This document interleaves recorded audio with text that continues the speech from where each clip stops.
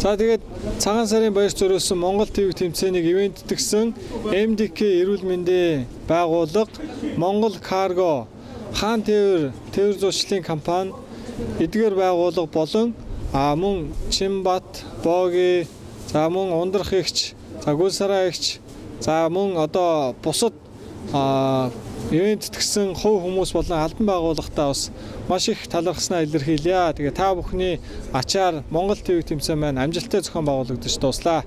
Та баярлалаа.